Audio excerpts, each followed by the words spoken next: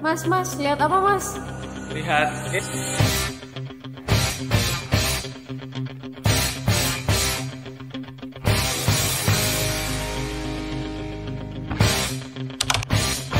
dilaporkan mengalami defisit.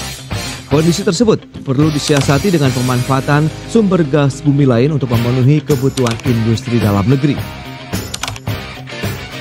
Salah satunya seperti gas alam cair atau liquefied natural gas.